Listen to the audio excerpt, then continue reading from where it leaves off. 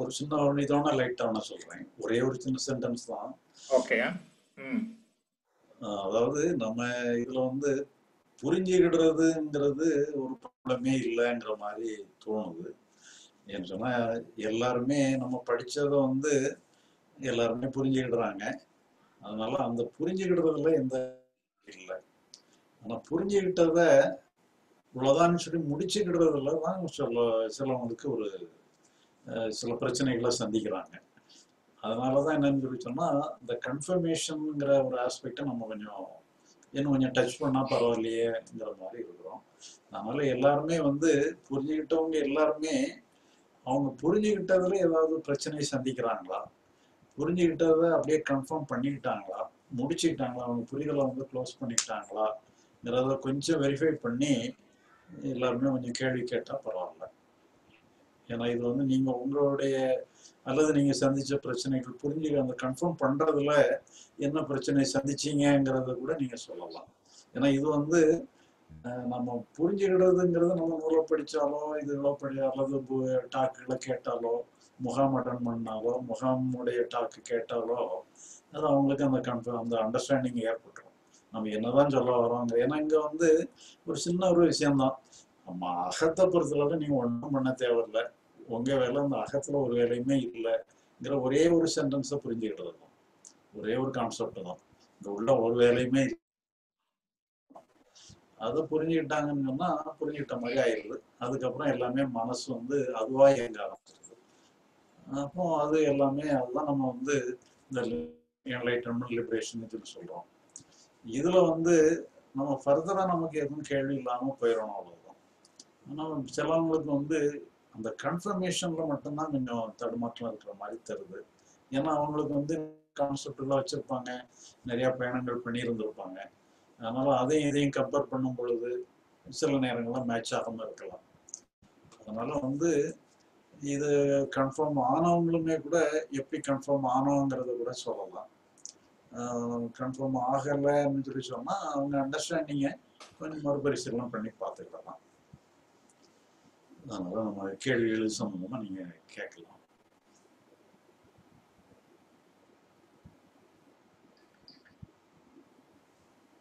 Confirmation ஆன பிறகு உங்களுக்கு எப்படி இருக்கு? முன்னாடி எந்த மாதிரி ப்ராப்ளம் சந்திச்சீங்க? கன்ஃபர்மேஷன் புரிதல் கன்ஃபர்மேஷன் கொஞ்சம் டைம் கேப்பு அப்புறம் கன்ஃபர்மேஷன் அப்புறம் உங்களுக்கு ரிலீஃப் இந்த மாதிரி விஷயம் இருந்தாலும் நீங்கள் சொன்னீங்கன்னா ஷேர் பண்ணிக்கிட்டீங்கன்னா நல்லா இருக்கும். இல்ல எனக்கு கன்ஃபர்மேஷன் ஆகல. இந்த மாதிரி எல்லாம் இடைஞ்சலா இருக்கு. கன்ஃபர்மேஷனா என்னன்னு தெரிய மாட்டேங்குது வர மாட்டேங்குது அப்படிங்கிற மாதிரி கொஸ்டினும் கேட்கலாம். ஐயா நீங்க உங்க அனுபவத்தை கூட சொல்லலாம். உங்களுக்கு கூட முதல்ல ஒரு சின்ன தடுமாற்றம் ஏற்பட்டு ஒரு வார்த்தை சொன்னீங்க ஆமாயா புரியுற மாதிரி கூட நீங்க சொல்லலாம். ஓகே. எனக்கு புரி இங்க ஐயாட்ட வர்றதுக்கு முன்னாடி மற்றவங்க வந்து என்னட்ட அப்ரோச் பண்ணுறது கொஞ்சம் பயமாக இருப்பாங்க. கொஞ்சம் கோபம் ஜாஸ்தி. அது கொஞ்சம் வீட்டில் ஃபேமிலியிலேயே ஒரு நிக்னேமே வச்சுட்டாங்க. ஒரு ஃபிலிமில் வந்து எம்டன் நாசருடைய பேர் வந்து அதே வச்சுட்டாங்க. அது அந்த சீன் வரும்போதெல்லாம் வீட்டில் இருக்கிற குழந்தைங்க ஒய்ஃப் எல்லாம் சேர்ந்து ஆஹ், நமட்டா சிரிச்சுக்குவாங்க. எனக்கு புரியறது இல்லை சரி ஏதோ சினிமா பார்த்து சிரிக்கிறாங்கன்னு நினச்சிட்டு ஐயாட்ட வந்த பிறகு அது ஓஹோ நான் இப்படி இருக்கேன். எனக்கு இது தேவையில்லாம கோபம் அவ்வளோ வருதுட்டு அந்த ஃபுல்லா அது சேஞ்ச் ஆகி இப்போ வந்து அந்த இது அந்த மாதிரி எம்டன் சீன் வந்தானா முதல்ல நான் தான் அவங்கள கூப்பிடுறேன் வர வாங்க வாங்க சேர்ந்து சிரிப்போம் அப்படின்ட்டு. ஸோ அந்த அந்த வர்ற கோபங்கள் அதில் வந்து நிறைய மாற்றம். இப்போ வந்து மற்றவங்க வந்து என்கிட்ட வந்து ஈஸியாக சேர்ந்துக்கலாம் பேசிக்கலாம். அப்படின்ட்டு ஆயிடுச்சு. ஒரு தடவை ஒய்ஃப் ஒய்ஃபுக்கு வந்து இந்த மாதிரி இதெல்லாம் வந்து ஜாஸ்தி நாட்டம் கிடையாது. அவங்களுக்கு கோயில் அது இருந்தாலே போதும். ஒரு தடவை ஒரு சூழ்நிலையில ஐயாவை அவங்களும் பேசுற மாதிரி ஒரு சூழ்நிலை அமைஞ்சது பெங்களூர்ல அப்போ ஐயாவே அவங்ககிட்ட கேட்டிருக்காங்க என்ன மாற்றம் பார்த்துருக்கீங்க அவர்கிட்ட? அப்படின்னு. அவன்கிட்ட இருந்து கோபம் ரொம்ப கம்மியாயிடுச்சு அப்படின்னு அவங்களே சொல்லி.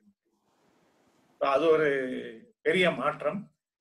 அதுவும் இல்லாம எங்களுடைய குரூப் இந்த எங்களுடைய காலேஜ் கிளாஸ்மேட்ஸ் குரூப்புக்கு வாட்ஸ்அப்ல குரூப் இருக்கு.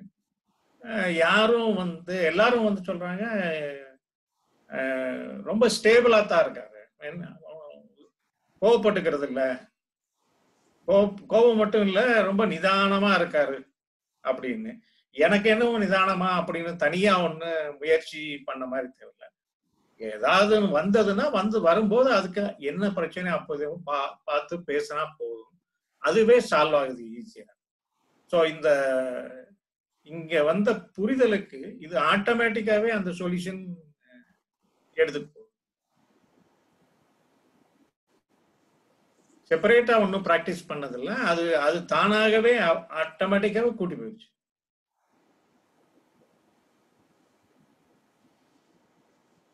இப்போ உங்களுக்கு அந்த அண்டர்ஸ்டாண்டிங்க்கும் கன்ஃபர்மேஷனுக்கும் இடையில ஏதாவது கேப் இருந்ததா? அண்டர்ஸ்டாண்டிங்க்கும் கன்ஃபர்மேஷனுக்கும் கேப் இருந்ததுயா அந்த அண்டர்ஸ்டாண்டிங்ல வந்து முதல்ல பார்க்கும்போது பிரவாகம் பிரவாகம் அப்படிங்கிறது நிறைய கேட்க வேண்டியதா போச்சு நிறைய படிக்க வேண்டியதா போச்சு.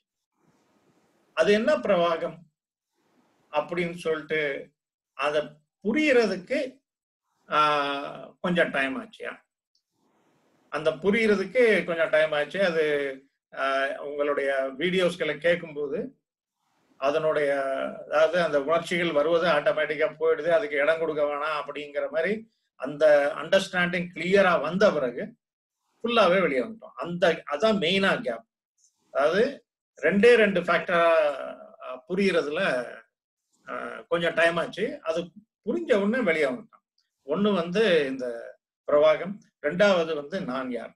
இந்த நான் யார் புரிஞ்ச பிறகு பிரவாகம் புரிஞ்ச பிறகு புள்ளி வெளியே வந்தாச்சு. இனிமே ஒன்றும் படிக்க ஒன்றும் தேவையில்லை அப்படிங்கிற மாதிரி ஒரு ஃபீலிங்கும் வந்துருச்சு.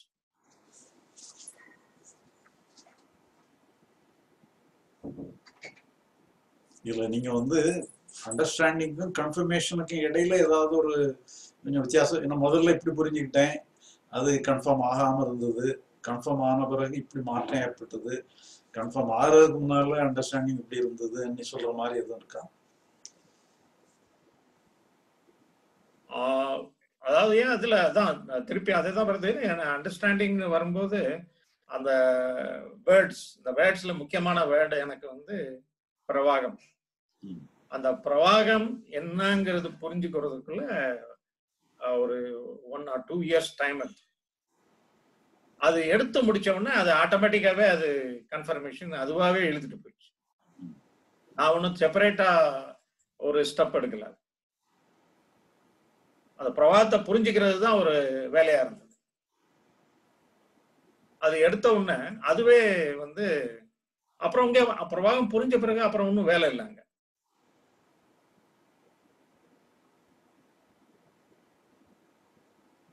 முதல்ல நீங்க ஒரு அண்டர்ஸ்டாண்டிங் ஏற்பட்டதுக்கும் ஏன்னா எப்படினாலுமே நீங்க எடுத்த எடுப்புல ரெண்டு வருஷத்துக்கு அப்புறம் கன்ஃபார்ம் ஆனா இருக்குன்னு சொல்றீங்க. நீங்க எடுத்த எடுப்புலயே ஒரு அண்டர்ஸ்டாண்டிங் கிடைக்குதானே செய்யும். ஏன்னா புரியலைன்னு சொல்ல முடியாது. யாருக்குமே வந்து நம்ம கான்செப்ட்ல வந்து புரிய முடியாதுன்னு சொல்ற மாதிரி ஒண்ணுமே கஷ்டமான ஒரு கான்செப்டே வைக்கல. நம்ம சொல்றது எடுத்த எடுப்புலயே புரிஞ்சுக்கிற மாதிரி தான் வச்சிருக்கிறோம். அப்ப எடுத்த எடுப்புலயே ஒரு புரிதல் ஏற்படத்தான் செய்யும். அந்த புரிதலுக்கும் பிறகு கன்ஃபர்மேஷன் ஆனதும் எப்படி அது அப்கிரேட் ஆச்சுதுங்கிறத ஏதாவது சொல்ல முடியுமா? அதாவது முதல்ல புரியும் போது நமக்கு அது கொஞ்சம் வெளியே இருந்து பாக்குற மாதிரி தான் இருக்கு. அதாவது நம்ம எதை எதை ஸ்டேட்மெண்ட் எடுத்தாலும் நம்ம வந்து ஆஸ் தேர்ட் பர்சனா பாக்குற மாதிரி இருக்கும் சரி. கன்ஃபர்மேஷன் ஆகிற பிறகு அந்த தேர்ட் பர்சன் இல்லைங்கிற மாதிரி ஆகுது சரி அதான் மேஜர் டிஃபரன்ஸ் சரி சரி நம்ம மற்றவங்களுடைய அணுகுமுறைகள் கேள்விகள் இதுகளுக்கு நம்ம போவோம்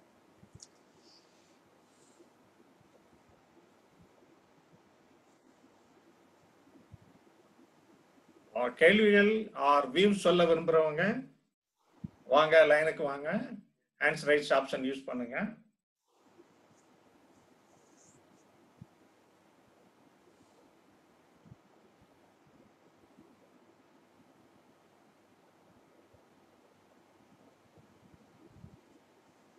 டாக்டர் ராஜன் ஃப்ரம் நாகர்கோவில் நினைக்கிறேன். அன்மியூட் ஐயா வணக்கம் ஐயா. ஆ வணக்கம். ஐயா நம்ம கான்செப்ட் எல்லாம் எனக்கு இது இல்லையா? அந்த அதுல எதுவும் டவுட் இல்ல. கான்செப்ட் எல்லாம் இது இப்ப புரிஞ்ச புரிஞ்சுதான் ஐயா இருக்குது. எனக்கு டிஃப்ரெண்டான ஒரு இன்னைக்கு ஒரு இது பார்க்கும்போது ஒரு டிஃப்ரெண்ட் முந்தி நான் அதுல கொஞ்சம் புக்ஸ் எல்லாம் படிச்சிருக்கிறேன். அதை வச்சு ஒரு டவுட் ஐயாட்ட கேட்கலாம்னு நினைக்கிறேன். ஏன்னா நம்ம கன்ஃபியூஸ் ஆகக்கூடாதுல்ல. எதுவுமே இதுல கான்ஸ்டன்டா நம்ம மைண்டை வச்சு கரெக்டா இருக்குன்னு சொல்லி ஒரு இதுல வந்து ஐயாட்ட கேட்கறேன் ஐயா.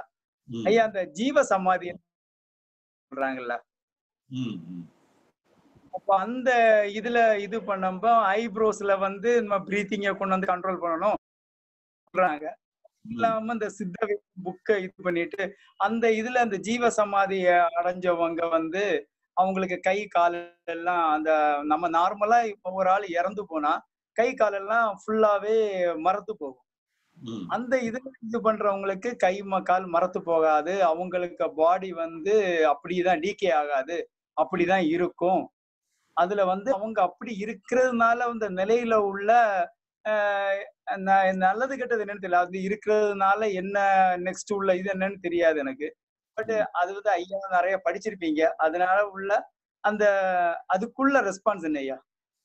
இல்ல இப்போ சிலவங்க வந்து பாடியே கம்ப்ளீட்டா வந்து அணுக்களா பிரிச்சு அப்படியே மறைஞ்சிடுறவங்க இருக்கிறாங்க. அவங்க பாடியை கூட கீழே போடுறது இல்லை அதை கூட அணுக்களாக்கி மறைச்சிடுறவங்க இருக்கிறாங்க. இப்போ இதெல்லாம் வந்து நாம அந்த மாதிரி லைனுக்கே நம்ம போகல. அதை அட்வைஸ் பண்ண நீங்க பாத்தீங்கன்னா நிறைய ஞானிகள்லாம் பாத்தீங்கன்னா எல்லா ஞானிகளும் இப்படி வந்து இப்படி முடிச்சுக்கிறதும் இல்லை. இந்த மாதிரி ஜீவ சமாதி அடைகிறதும் இல்லை. அது நமக்கு தேவையில்லை. நம்ம அந்த கு- இடத்தையே விட்டுட்டோம். அந்த மாதிரி அதுக்காக அது பொய்ங்கிற அர்த்தம் இல்லை. அது எல்லாமே சாத்தியம்தான். ஆனா நமக்கு அதை நம்ம பத்தி பேசவும் இல்லை அதை நம்ம அடையணும்னு சொல்லி வழிகாட்டவும் இல்லை. அதனால அது நம்ம லைன்லயே வரலன்னுட்டு எடுத்துக்கணும் ஆமா ஐயா இது நம்ம லைன்ல வரல. ஐயா சொல்றது இதுதான். கரெக்ட் பட் ஐயாவுக்கு நா- அதை பத்தி உள்ள நாலேஜ் எக்ஸ்பீரியன்ஸ் கண்டிப்பா இருக்கும். நான் எதுக்கு இது பண்றேன்னா நிறைய பேர் இதுல கன்ஃபியூஸ் ஆவாங்க ஐயா. ஒரு இடத்துல இருந்து இனியொரு இதுக்கு இது பண்ணி சொல்லம்ப அஹ், இங்கேயே நம்மள்ட்டயும் ஹண்ட்ரட் பர்சன்ட் இது உண்மை. ஐயா சொல்றதும் தாட் அண்ட் திங்கிங் எல்லாமே கரெக்ட் ஹண்ட்ரட் பர்சன்ட் அது.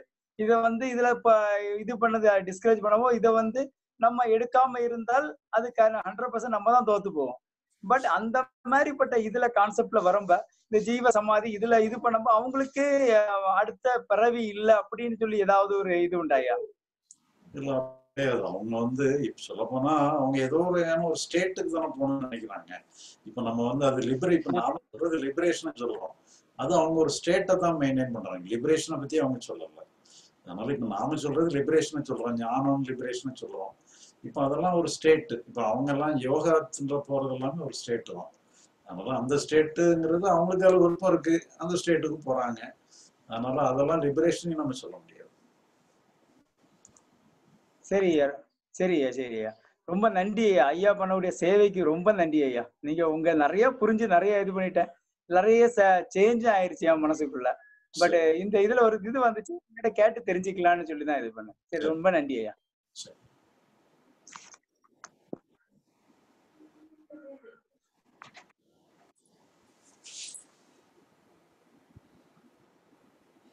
நெக்ஸ்ட் முத்து முத்து ஃப்ரம் துபாய்னு நினைக்கிறேன். சிங்கப்பூர்.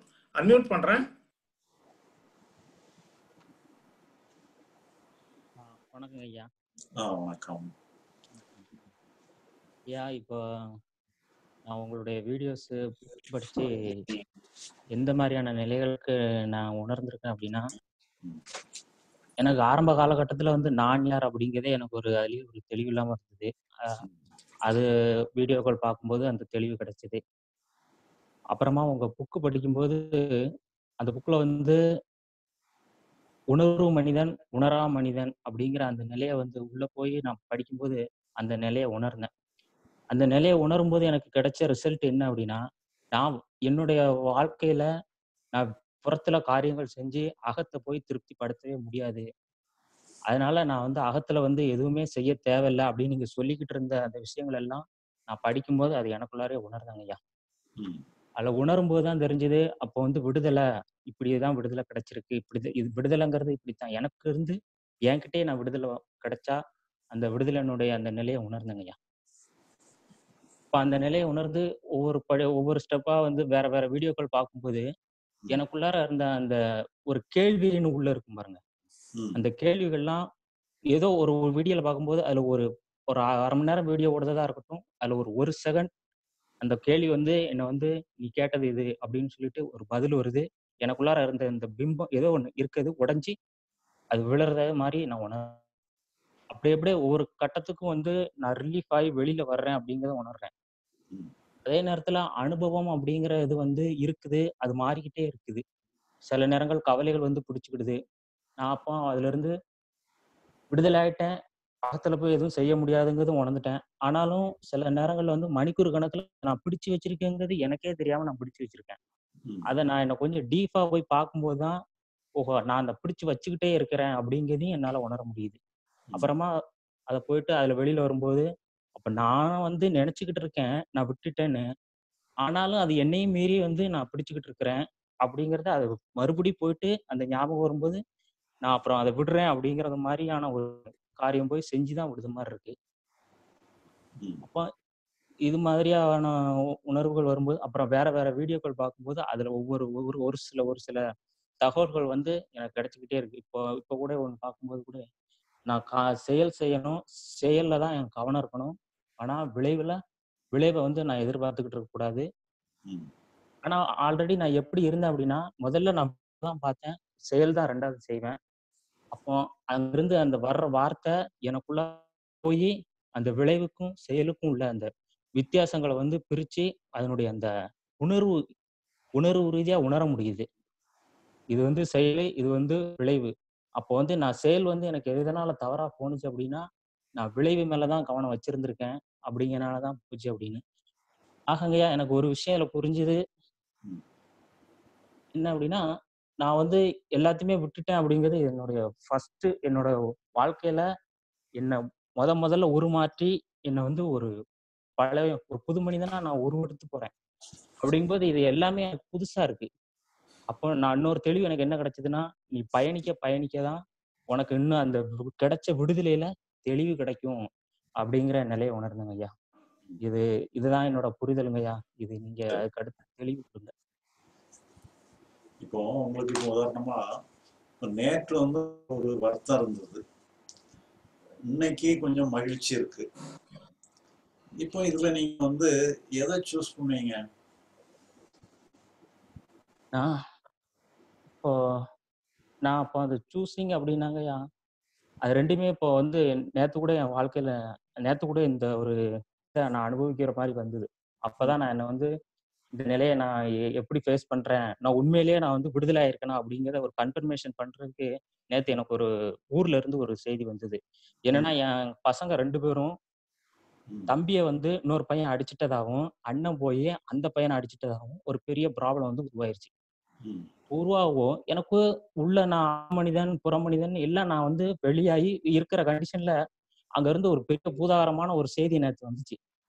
வந்த உடனே நான் அதை வந்து ஒரு நிமிஷம் ஒரு கிட்டத்தட்ட ஒரு இருபது நிமிஷம் வரைக்கும் அங்கே ஃபோன் பேசி அங்கே பேசி இங்கே பேசி கொஞ்சம் நிதானமாக பேசுகிற மாதிரி பேசுகிறேன் ஆனாலும் என்னென்னா என்னுடைய அகமனிதன் தான் வெளியில் கிளம்புறான் அப்படிங்கிறது பேசி முடிச்சதுக்கப்புறம் நான் உணர்ந்தேன். அப்போ நீ வந்து இப்போ இதெல்லாம் நீ வந்து உணர்ந்து வெளியில் வந்துட்ட விடுதலையாக இருக்கேங்கிற அப்புறம் வந்து உன்னோட அகமனிதன் தான் கிளம்பி போகிறான் புறமனிதன் வந்து அப்புறமா இதெல்லாம் ஒரு நிதானத்துக்கு வந்து காலையில் எந்திரிச்சு அப்போ புறநிலையில இருந்து நான் வந்து காரியம் செய்யணும் அக அகநிலையை விட்டுட்டேன் அப்படின்னு சொல்லிட்டு புறத்துல இருந்து போயிட்டு எல்லாத்தையுமே வந்து அப்படியே விட்டுருங்க. இனிமே வந்து யாரும் அதை பத்தி பெருசா இது பண்ணிக்க வேண்டாம். நடந்து நடந்து முடிஞ்சதா இருக்கட்டும் அப்படிங்கிற மாதிரி பேஸ் பண்ணிட்டு விட்டுட்டு வெளியே வந்துட்டேன். ஆனாலும் அந்த இது வந்து என்னை வந்து இது அந்த பாதிப்பு வந்து என்னை தாக்குனுச்சு அப்படிங்கிறத நான் உணர்ந்தேன். அப்போ வந்து நான் அதுக்கப்புறம் ஒரு காலகட்டத்தில் விட்டுட்டேங்கய்யா இது இல்ல. இது வந்து எதற்காக வந்திருக்கு அப்படிங்கிற ஒரு காரணம் வந்து எனக்கு அதில் ஒரு தெளிவு இருந்தது. இப்போ என் பையங்களை வந்து நான் ரொம்ப கண்டிஷன் பண்ணி இப்படியெல்லாம் இருக்கக்கூடாது அப்படி இருக்கக்கூடாது அங்கெல்லாம் போகக்கூடாது அப்படின்னு நான் அவங்கள்ட்ட சொல்லியிருப்பேன் நிறைய தடவை. ஆனால் அவங்க கேட்கவே இல்லை. ஆனாலும் போய் அந்த தெருவில் போய் தான் அந்த பிரச்சனை இழுத்துட்டு வந்தாங்க. இப்போ பயம் அப்படிங்கிற ஒரு விஷயம் போய் அவங்க வாழ்க்கையில ஒரு மாற்றத்தை ஏற்படுத்துறதுக்காக தான் இந்த விஷயம் நடக்குது. அதனால இதை போயிட்டு நான் அவங்கள்ட்ட ரொம்ப போட்டு இதை பத்தியான பிரச்சனைகளை பேசக்கூடாது அப்படிங்கிற ஒரு தெளிவு கிடைச்சிது. அப்போ அந்த தெளிவுல இருந்து அப்படியே எங்க வெளியில வந்துட்டாங்க ம். இதாங்க கேட்ட கேள்வி கேட்கிறேன் ஆ. அதாவது இப்ப நேற்று வந்து இந்த மாதிரி ஒரு உணர்வு நமக்கு வந்தது. இப்ப இன்னைக்கு வந்து மனசு வந்து ஒரு அமைதியோடையும் ஒரு நேற்றுள்ள நிலைமை மனநிலை வேற இன்னைக்குள்ள மனநிலை வேற. இப்ப இதுல நீங்க எதை செலக்ட் பண்ணீங்க? இன்னைக்கு இருக்கிற நிலையை தாங்க செலக்ட் பண்றேன். அப்போ அப்படி அதுன்னு சொன்னா என்ன ஆயிருந்தோம்னா அந்த நிலையை நம்ம எடுத்துக்கிறதே தயாரா இல்லை. இந்த நிலையை நம்ம வச்சுக்கிறதே தயாரா இருக்கோங்கிற மாதிரி ஒரு செலெக்ஷன் அங்க வந்துடுது இதுல என்னன்னு சொல்லி சொன்னா இப்போ ஒரு கண்ணாடி இருக்கு. கண்ணாடியில வந்து ஆஹ், நேற்று பார்த்த இமேஜ் தான் நல்ல இமேஜ் இன்னைக்கு பார்த்த இமேஜ் தான் நல்ல இமேஜ்னு சொல்லி கண்ணாடியில இமேஜை பொறுத்தவரை செலக்ட் பண்ண முடியாது பாத்தீங்களா? அதே மாதிரி நம்ம மனசுலயுமே அந்த இமேஜ் நல்ல இமேஜ் இந்த இமேஜ் நல்ல இமேஜ் இல்ல நீட்டு சொல்லி செலக்ட் பண்ணோன்றே அது வந்து சரியான செலெக்ஷன் இல்லை அது அன்னைக்குள்ள சூழ்நிலையில அப்படிதான் வரும் இன்னைக்குள்ள சூழ்நிலை இப்படிதான் வரும் போது ரெண்டுமே கரெக்ட் தான். மனசை பொறுத்தளவுல ரெண்டு இமேஜுமே கரெக்ட் தான். இதுல நாம வந்து எதை செலக்ட் பண்ணாலும் தப்பு எதை ரிஜெக்ட் பண்ணாலும் தப்பு எதை செலக்ட் பண்ணாலும் தப்பு. அது அப்படித்தான் இருக்கும். அது அதனுடைய இயற்கை அதுதானிட்டு நம்ம எடுத்துக்கணும். எடுத்துக்கிட்டோம்னு சொல்லி சொன்னா இந்த மனதனுடைய செயல்பாடை வந்து நம்ம அதுக்கு முழு சுதந்திரம் கொடுத்துடுறோம் அது எப்படி வேணாலும் செயல்பட்டு போகலாம். எதையுமே இது இப்படி வரக்கூடாது இப்படி வந்தது நம்ம விட்டு போகக்கூடாதுன்னு சொல்லி சொன்னா அதனுடைய சுதந்திரத்துல நம்ம தலையிட ஆரம்பிச்சிடறோம். இப்போ மனத்தினுடைய அனுபவங்களை பொறுத்தளவுல அங்க சுதந்திரம் இருக்கணும். ஒரு இது எப்படி அது அது செயல்படுற மாதிரி இருக்கணும். நமக்கு நம்முடைய பாட்டு அங்க இருக்கக்கூடாது. இதை நம்ம அண்டர்ஸ்டாண்ட் பண்ணிடணும் பண்ணிட்டோம்னு சொல்லி சொன்னா ஒரு நல்ல நிலையை மெயின்டைன் பண்ணணுங்கிற ஒரு கடமை நமக்கு கிடையாது. செயல்களை நல்ல செயல்களை மெயின் பண்ண மெயின்டைன் பண்ணணும். நல்ல சூழ்நிலையை மெயின்டைன் பண்ணணுங்கிறது நம்ம கடமை இருக்கு. நம்ம மனநிலையை வந்து நல்ல நிலையை மெயின்டைன் பண்ணணுங்கிற ஒரு கடமை வச்சுக்கிட்டோம் சொன்னா அதுதான் வந்து நம்மளுடைய அண்டர்ஸ்டாண்டிங் உதவமானது. அதனால அது இயற்கையா விட்டுற வேண்டியதுதான். இயற்கையா விடணுங்கிறத நம்ம ஒரு ஒரு அண்டர்ஸ்டாண்டிங்கும் வந்து சரிங்க நான் இப்போ பழைய நிலையில இருந்து இந்த இப்போ உங்க புரிதலுக்கு வந்ததுக்கு அப்புறம் இதுதான் சரி இதுதான் சரியான புரிதல் இதை தான் நான் வந்து பயணிக்கணும். இதுல வந்தது எனக்கு சில தெளிவுகள் இன்னைக்கு இல்லாம இருக்கலாம். ஆனா நான் தொடர்ச்சியா இதை நோக்கி நான் பயணிச்சு வரும்போது நிச்சயமா அந்த தெளிவு எனக்கு முழுமை பெறும் அப்படிங்கிறதுல நான் மு- முழுமை பெற்றே தீருங்கிறதுனும் அது முழுமைதான் அடையணும் அடைஞ்சதுலயும் தெளிவா இருக்குங்க. ஏன்னா இதுலதான் எனக்கு வந்து நான் எதிர்பார்த்த வாழ்க்கையெல்லாம் இப்படியெல்லாம் தான் எதிர்பார்க்குங்கிறத விட எனக்குள்ளார என்னுடைய அந்த தேடல் பூரா அங்கதான் அந்த அதுக்கு விடை தெரியுது அப்படிங்கிற மாதிரி உணர்றேங்கய்யா உங்களுடைய புக்கா இருக்கட்டும் வீடியோக்களா இருக்கட்டும் எல்லாத்துல இருந்தும் ஒவ்வொரு செய்தி ஒவ்வொரு செய்தி இதுதான் நான் தேடினேன் இதுதான் நான் வந்து இதுதான் எனக்கு வேணும் அப்படிங்கிற மாதிரி ஒண்ணு ஒண்ணுலயே அது வந்து என்னை வந்து தொடுதுங்கய்யா அதை எப்படி நான் உணர்றேன் அப்படின்னா எவ்வளவோ தூரம் இப்ப நீங்க எங்க இருக்கீங்க நான் எங்கேயோ இருக்கிறேன் அப்போ இதுலலாம் வந்து ஒரு மிகப்பெரிய ஒரு சக்தியா ஒரு உண்மை இருக்கிறதுனாலதான் நான் வந்து இந்த ஒரு ரெண்டு வாரத்துல என் வாழ்க்கையில இப்படி ஒரு பெரிய ஒரு மாற்றம் அப்படிங்கிறதுலயும் நான் ஒரு விடுதலை அடைஞ்சிருக்கேன் அப்படின்னு நினைக்கும்போது அது மிகப்பெரிய ஒரு ஒரு ஒரு இதாதாங்க கருதுறேன். அதே நேரத்துல அது அதனோட பணி பயணிக்கும் போது நிச்சயமா இன்னும் அடுத்த கட்டமா வந்து என்னோட தெளிவுகளுக்கு மேல தெளிவு கிடைக்கும் தெளிஞ்சுக்கிட்டே இருக்கிறேன் அப்படிங்கிற முடிஞ்ச நம்புறேங்க இல்ல நீங்க அடுத்த கட்டமே போகாதுங்க. நீங்க இதுதான் இதான் கடைசி கட்டம் நீட்டே வச்சுக்கிடுங்க மனசை பொறுத்தளவுல அடுத்த கட்டம் ஒன்றும் ஒண்ணும் கிடையாது. நீங்க அடுத்த கட்டம்னாலே ஒரு நல்ல கட்டத்தை எதிர்பார்ப்பீங்க. நல்ல கட்டம் மோசமான கட்டம்ட்டே கிடையாது. அதனால எல்லாமே முடிஞ்சு போன கட்டமா ஆயிரணும் அவ்வளவுதான். அகத்தை பொறுத்தெல்லாம் கணந்தோறும் புதுசா தான் இருக்கணும். பழைய இதே இருக்கக்கூடாது. அதனால இதை இப்படி கண்டினியூ பண்ணணும் அதை அப்படி கண்டினியூ பண்ணணுங்கிறதெல்லாம் கிடையாது. புறத்துக்கு வச்சுக்கிடுங்க. புறத்துக்கு வந்து முடிக்கக்கூடாது. நீங்க தொடர் கதையாக தான் வச்சுக்கிடணும். இது நம்ம ஒரு தப்பு நடந்ததுன்னா தப்பை நிவர்த்தி பண்ணி சரியான இடத்துக்கு வந்துடணும். அகத்தை பொறுத்தளவு அவ்வளவுதான் முடிஞ்சு அவ்வளோதான்ங்கிற மாதிரி அது அதுவா செயல்படும். நம்முடைய செயல் அங்கே இல்லை. மனசு வந்து நீங்க விடாம விட்டாலும் மனசு இதெல்லாம் சும்மா இருக்காது.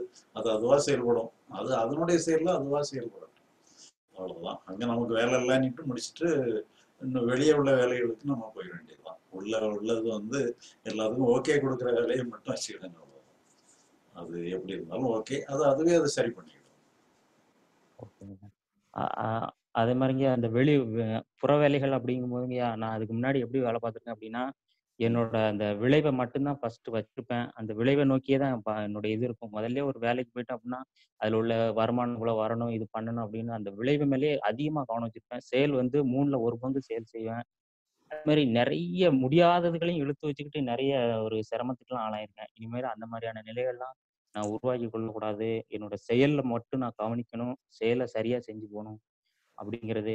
அப்புறம் வெளி உலகத்துலன்னு எடுக்கும்போது சரியான கட்டுரை நான் அந்த வாக்கு கொடுக்குற வாக்க கரெக்டான நேரத்துல நான் உங்களுக்கு வந்து மற்றவங்களோட நடக்கணும் அப்படிங்கிற ஒரு நிலையெல்லாம் உணர்த்திக்கிறது ஆனால் வெளியே வந்து நீங்கள் கொஞ்சம் விளைவை எதிர்பார்த்து செஞ்சாதானே சரியா இருக்கும். இப்போ நீங்கள் வந்து லாபம் வந்தாலும் சரி வரலனாலும் சரின்ட்டு இல்லாதபடி லாபம் தான் வரணும்.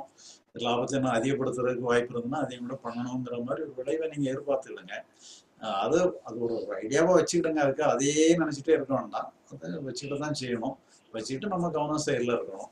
மொத்தத்தில் என்னங்கன்னா மனசை மட்டும் கீழே இறக்கி வைக்கிறதுல அது எப்படி வேணாலும் வந்துட்டு போட்டுன்னு சொல்லி இது இப்படி இருந்தா நல்லா இருக்கு அப்படி இருந்தா நல்லா இல்லைன்னு சொல்லி மன அனுபவங்கள்ல தான் நம்ம வந்து கவனத்தை செலுத்தக்கூடாது. மனசை வந்து சுதந்திரமா விட்ட வேண்டியதுதான். அது எதுவா இருந்தாலும் அது ஓகேன்னு கொடுத்த வேண்டியதுதான். வருத்தப்பட்டாலும் ஓகே பயப்பட்டாலும் ஓகே நல்லது இருந்தாலும் ஓகே. அது அதுவாக தான் பார்த்துக்கணும் ஒழிய நம்ம எதுலையுமே குறை காணக்கூடாது. மனசை மட்டும்தான் ஃப்ரீயா விட்டுறணும். அது எப்படி இருந்தாலும் ஓகேன்னு சொல்லி. சேலை பொறுத்த அளவுல நீங்க விளைவை கூட நீங்க எதிர்பார்த்துக்கிடுங்க ஒரு கணக்கு போட்டுக்கிடுங்க. பட்டால் தான் நம்ம செய்ய முடியும். செயல்கள்லாம் வந்து சும்மா ஒரு ஒரு ரொட்டீனாக செய்யணும்னு நினைக்கக்கூடாது. அது நீங்க முழுமையான ஈடுபாட்டோட முழுமையான எதிர்பார்ப்போட கூட செய்யும் சரி. அதுமில்லாங்க அந்த நான் முதல் தடவையா வந்து எனக்கு வந்த அந்த நான் என்னோட வாழ்க்கையில முதல் தடவையா அந்த ஒரு ப்ராப்ளத்தை வந்த ப்ராப்ளத்தை நான் முழுமையா வந்து எப்படின்னு கேட்டீங்கன்னா அகத்துல இருந்து போயிட்டு போய் போராடிடுவேன். வெளியில போயிட்டு அவங்களுக்கு போன் அடிச்சு இதே நான் உங்க புரிதல் இல்லாம இருக்கும்னா நான் நேத்து எனக்கு வந்த அந்த நான் நிறைய ப்ராப்ளத்தை இன்னும் கொஞ்சம் பெருசா தான் ஆக்கியிருந்திருப்பேன். அதை நான் இன்னைக்கு நான் உணர்ந்தேங்கய்யா ஏன்னா ஆட்டோமேட்டிக்கா அது வந்து சரி. ஆனா எனக்கு வந்த செய்தியை வந்து நான் என்ன செஞ்சிருப்பேன்னா புரிதல் இல்லாம உங்க புரிதலுக்கு இல்லாம இருந்திருக்கோம்னா நிறைய பேருக்கு போன் அடிச்சிருப்பேன். அடிச்சு அவங்க வர சொல்லுங்க இவங்க வர சொல்லு அது ஒரு பெரிய பூதாரமான விஷயமா மாத்திருப்பேன். ஆனா அந்த புரிதல் வந்ததுனால என்னால வந்து அந்த விஷயத்த வந்து அதை வந்து ஹேண்டில் பண்ணிட்டு வெளியே வந்துட்டேன். இப்போ எங்கள் வீட்டில் எல்லாருமே வந்து பசங்க எல்லாம் எப்போதும் போல வந்துட்டாங்க. இல்லைன்னா நான் ரொம்ப அவங்கள டார்ச்சர் பண்ணியிருப்பேன். அதை எப்படி பண்ணலாம் அப்படிங்கிற ஒரு அவங்கள வந்து மேற்கொண்டு மேற்கொண்டு ஒரு குற்ற சரி முடிஞ்சது முடிஞ்சு போச்சுப்பா. இனிமேல் இது மாதிரியான நீங்கள் காரியம் செஞ்சீங்கன்னா இது மாதிரியான பிரச்சனைகள் வந்துடும் அதனால இதுவெல்லாம் உங்களுக்கு ஒரு பாடம். இதுல இருந்து நீங்க அடுத்து இதை செய்யாம இருக்கணும். சில நேரங்களில் வந்து அதிகமான கோவம் வரும்போது அப்படிங்கும்போது அவங்கள வந்து நான் சரியா ஹேண்டில் பண்ண முடியுது இல்லைன்னா இன்னைக்கு வரைக்கும் இந்த போராட்டம் இன்னொரு ஒரு வாரம் கூட நீடிச்சு ஒரு இதே நானே உருக்க உருவாக்கி இருந்ததுனால இப்ப அது ஷார்ட்டா முடிஞ்சுதுங்கய்யா. ரொம்ப நன்றிங்க ஐயா சரி. ஓகே முத்து உங்களை மீட் பண்றேன். Next Senthilkumar from Singapore. அவங்க வெயிட் பண்றாங்க அன்மியூட் பண்றேன்.